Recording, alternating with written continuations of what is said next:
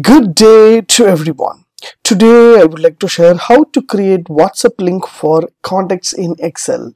Let me show you how to do that. Yes, from my laptop or desktop I have opened the document and I have a plenty of document with the phone number is there. So once i click whatsapp automatically it will move into whatsapp link so that i can chat with the people. So i have the database how to create a link for the whatsapp from the particular number. What I have to do here? Press equal to and just type hyper.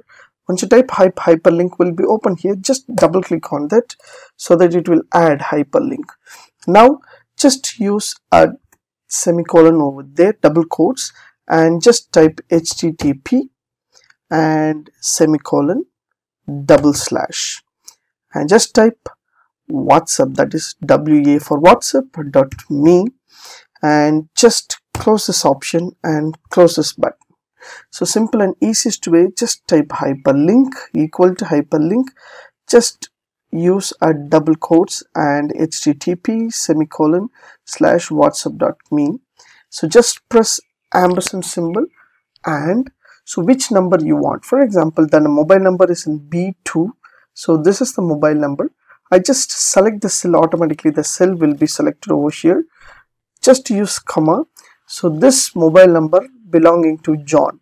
So just choose a john name and just close the bracket. So simple and easiest way equal to hyperlink your link that is http slash slash whatsapp.me that is wa.me slash and double quotes will be closed over here.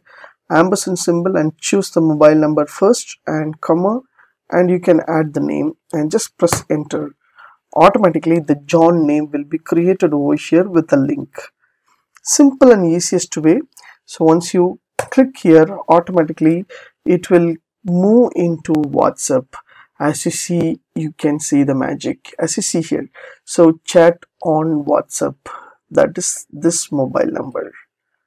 So simple and easiest way you can create a link without any other hesitation. So if you want to copy the same uh, formula so just drag and drop. Automatically the david contact will be created over here and Jude contact will be created over here as well as Matthew and Andrew. So I just want to go to Andrew to chat with Andrew. Just click on that.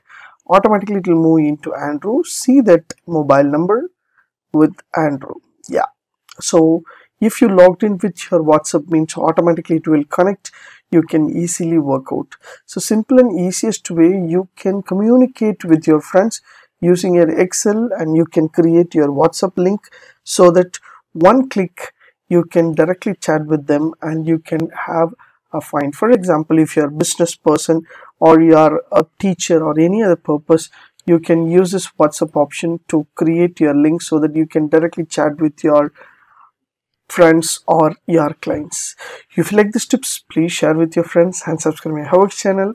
Thanks for watching dear friends. Have a great and good day